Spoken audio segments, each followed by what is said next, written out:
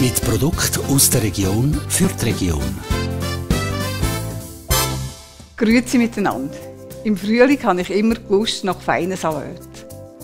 Heute zeige ich Ihnen einen Gourmet-Salat mit Rhabarbern und Schafskäse. Den Gourmet-Salat gibt es das ganze Jahr durch frisch, aber immer in verschiedenen Zusammensetzungen.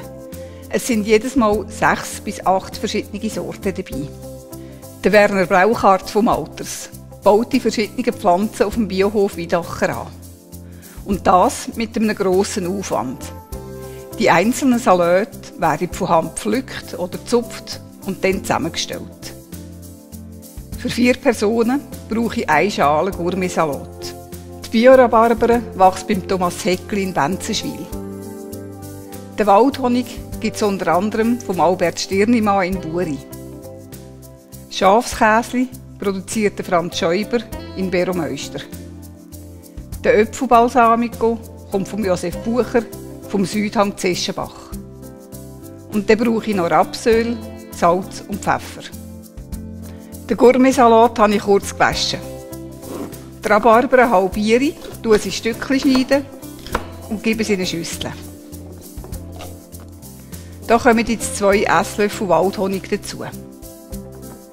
Dann mache ich es mit einem Löffel untereinander, so dass alle Rhabarbern ein mit Honig bedeckt sind. Das kommt jetzt auf einem Backpapier für etwa 5 Minuten in 200 Grad heißen Ofen. Nachher setze ich etwa 10 Minuten abkalten.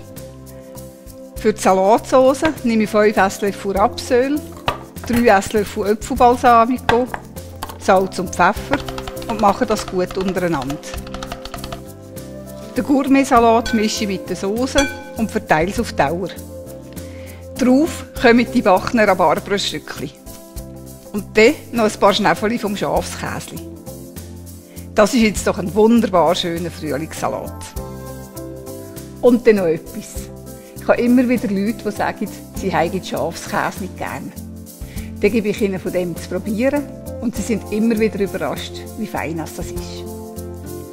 Ich danke höflich fürs Zuschauen, wünsche eine gute Woche. Ade miteinander. Janet kocht. Mit Produkt aus der Region für die Region.